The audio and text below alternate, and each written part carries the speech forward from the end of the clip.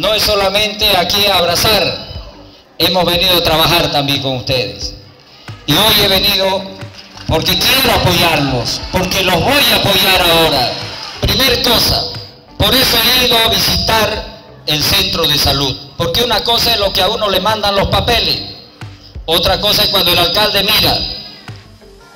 Aquí, mire, me ha pasado una lista desde una balanza, dice que a veces no hay como pesarlo a los chicos acá. Hay también que instalar, dice el tema de la lavandería. Me dice que ni la chapa en la puerta de entrada servía. Sí, no sirve, ¿no? Hoy la vamos a arreglar, yo voy a dejar un presupuesto para que compren la chapa y lo arreglen. Hoy van a tener ustedes el personal de seguridad que lo vamos a contratar mañana mismo. Mañana mismo.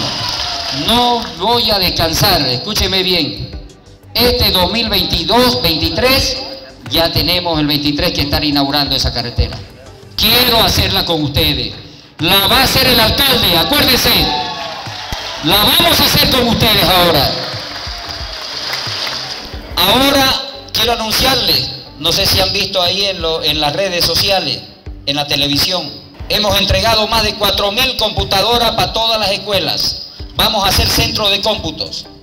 Y el próximo año voy a lanzar la licitación para entregar ya las tablets para todos los niños de secundaria como lo prometí. Este alcalde no se va a ir sin cumplir su promesa.